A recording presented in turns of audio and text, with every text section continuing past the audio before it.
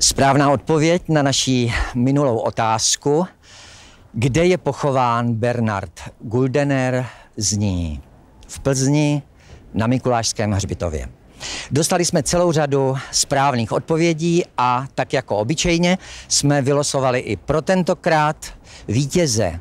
A tím je Libuše Kulová s adresou ve Višňovce 1 Plzeň Boškov. Blahopřejeme, paní Kulová, a můžete očekávat od nás i od západočeského nakladatelství malou pozornost. No a my se vypravíme za dalšími Plzeňany s další otázkou. Dobrý den. Dobrý den. Dovolíte otázku? Co je to mušketa? Mušketa to je stará zbraň, No správně. A proč se jmenovala mušketa? protože ji používají mušketýři. No moc nevím teda o tom. Já mám k vám jednu otázku. Vy to určitě budete vědět. Co je to mušketa? Puška. Mušketa. Mušketa, to, to byla puška, nebo? Puška, výborně. Já jsem ti nerozuměl.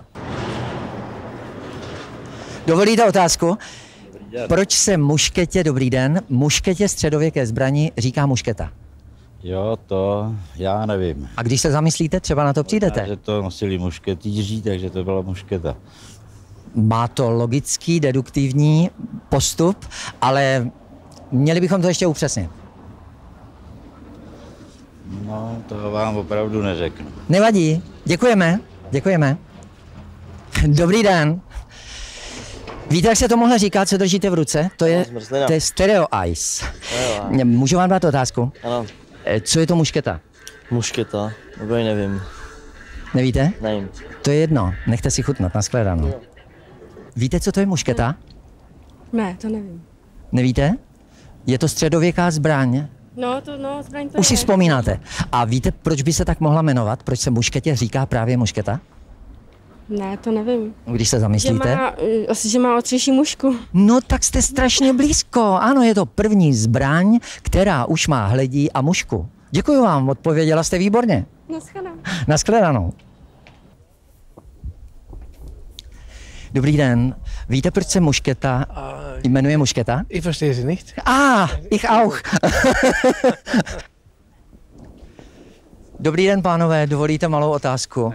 Jak se, nebojte se, bude o legraci, nejde o nic vážného. Proč se mušketě středověké zbraní říkalo a dodnes říká mušketa? To nemám ani Ahnung. To vůbec nevadí, váš kolega nám utek, pojďte nám to povědět. Pojďte nám to říct, vy to určitě víte. Proč se říkalo mušketě mušketa? Ježiš, to nevím. Nevíte, nevadí, řekne nám to někdo úplně jiný. Halo, prosím vás. E, Víte, co je to mušketa? Je, to nevím, to není můj obor. Ach, tak, tak nám aspoň řekněte, kde najdeme doktora Husa. No to musíte jít podle toho lešení až na konec a tam si zazvoníte na středověk. Děkuju. Prosím. Tak jo, tak si brnknu do středověku.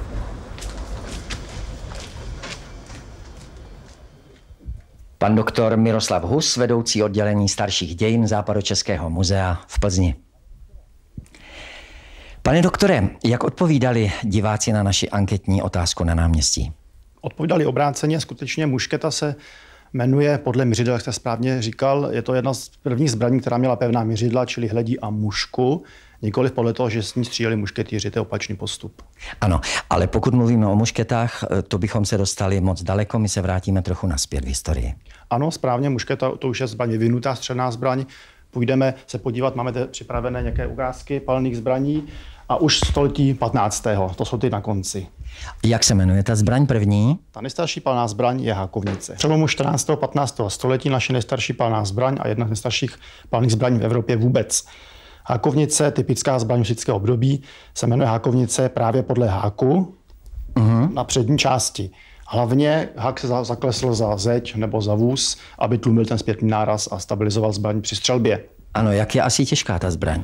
Hákovnice podle velikosti a materiálu vážily kolem 20 kg, čili to nebyla žádná lehká věc. Byl to těžší než lehký kulomet dneska. A to nosili ti střelci na rameni třeba, nebo na to měli nosiče? To nosil obvykle sám na rameni, pochopitelně. Střídalo se jednoduchým systémem, hákovnice se zaklesla za tu hradbu nebo za vůz a zapalovalo se to buď doutnákem, či luntem, nebo žhavou tyčinkou ocelovou do tohoto, do tohoto Otvoru? otvoru kam se přiložil ten žhavý konec a vyšla, vyšla rána. Samozřejmě byly to předovky všechno, či nabíjeli se dopředu, nasypal se tam nejdřív střelný prach, mm-hmm. pak koule, pak se to ucpalo nějakou látkou nebo něčím podobným, upěchovalo se to, do tohoto otvoru se dalo menší množství střelného prachu a potom ten žhavý konec tyčinky nebo zápal, zápalné šňůry. Vyšla rána. Zpětný náraz byl velice silný. A co je ta druhá zbraň? To je také hákovnice? Hákovnice se vyvíjely pochopitelně, protože už v tom 15. století nevyhovoval ten primitivní způsob odpalování pomocí toho doutnáku nebo žhavé tyčinky a proto byl vymyšlen zámek takzvaný luntový, čili doutnákový. Jo, to už je ten luntový. To už je moderní vlastně a tehdejší dobu systém doutnákového zámku. Totiž do, toho, do, do té čelisti byl připojen ten, ten doutnák, ten lund a potom pružinou se stiskla spoušť, to taková konflíková spoušť. No, to je takový mechanismus vlastně kovový. Ale povězte mi, tohle už bylo um, o několik století později? Nebo ne? To bylo z 15. století, z konce 15. století, ale tyto zbraně vlastně fungovaly ještě v první polovině 16. století. Ale už se tomu neříkalo hákovnice, ale říkalo tomu arkebuza. Bylo mezinárodní slovo, arkus latinsky hák, čili oblouk, či vlastně hákovnice, ale cizím slovem. Ano, a ještě jedno rozdělení existuje. Eh, takové ty nejmenší se jmenovaly, měly své specifické jméno, pak střední a ty největší. Můžete nám je rozdělit? V tom středověku ty nejmenší zbraně se jmenovaly píšťaly. Podle tvaru vypadaly skutečně jako píšťala. Z toho také vychází to mezinárodní slovo pistole. Ano. Potom ty střední zbraně, to jsou ty hákovnice a ty úplně nejtěžší, nejtěžší palné zbraně, které ovšem už se nepřenášely ručně, to byly tarasnice nebo srubnice, to vlastně už byly malá děla. Kde vás mám? Já jsem tady, špatně ale... Vás, špatně vás slyším. No to já vás ani nevidím. Eh, podívejte se, já si ale myslím, že eh, proti takovémuhle brnění ty vaše zbraně byly úplnými hračkami. Není to pravda. Právě v této době, v tom 16. 17. století, díky účinnosti palných zbraní přestal mít takovéto plechové ozdoby funkci, jakoukoliv funkci a význam. Chránili pouze proti chladným zbraním, čili proti mečům, případně šípům, hrotům, hmm. oštěpu a podobně. No vidíte, proti, já jsem, pardon. Proti palným zbraním neměli šanci. Neměli šanci. Představte si takovou skorodovanou jízdu v poli. Ta by mohla budit větší hrůzu než slavná, slavný husický chorál, nemyslíte? Psychologická válka, máte pravdu. Psychologická válka. No ale můžu vás poprosit, pomůžete mi trošku z toho oblečku? Samozřejmě. Je, tam bylo ucho, moment. Samozřejmě. Jo, dobrý. Ah. No, tak oh. řeknu vám, že současní krejčí šijou pohodlnější oblečky. A lehčí. A lehčí. No ale my se můžeme vrátit k našim zbraním. Nechcete si to zkusit taky? Děkuji, děkuji. Už jste to měl na sobě? Měl. Takže myslím, že se dostáváme k mušketám. Konec 16. století začínají muškety. Ano. Muškety v tom nejstarším období byly těžké zbraně, které vážily přes 10 kg a měly celý jednoduchý doutnákový zámek, luntový, který fungoval na polovém principu jako u těch hákovnic, čili jednoduchá pružina, která s máčknutím dostala čelist, kde byl zapalen doutnák k ocílce, k pánvičce, pardon, k pánvičce, kde byl střelný prach. Princip nabíjení byl stejný jako u těch hákovnic, to znamená, že do hlavně nasypalo střelný prach, pod kule, pod úcpávka, na pánvičku na pánvičku trošku jemného střelného prachu, zapalený doutnák se potom spouští, přiblížili pánvičce, aby šel výstřel. A puška byla těžká, takže při střelbě musel mít mušketýr opěrku, takzvanou furketu, mm-hmm. už byl dlouhý, dlouhá tyč, na konci rozjetená do Včka. Ano, pamatuji se, se na ně z rytin různých. Tam se potom zaklesla hlaveň. No ale vývoj se přece nezastavil. Nikoliv. Už v 17. století byl vymyslený zámek přesadlový, ovšem nabil důležitosti až století 18., protože byl výrobně dražší než ten doutnákový zámek, ale právě vývinem společnosti v tom století 18. se rozšířil masově a fungoval vlastně až do století 19. Byl to zámek v principu jednoduchý.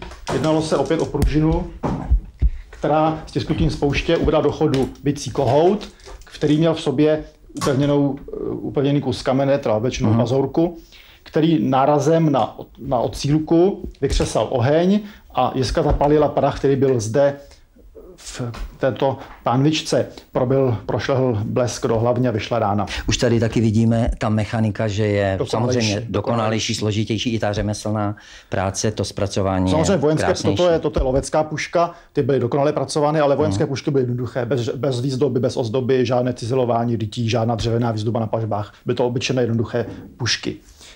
Ale kromě zámků Luntových nebo Doutnákových a Křesadlových existovaly ještě zámky kolečkové, které fungovaly od toho 16. století až po to století 18. možná až 19.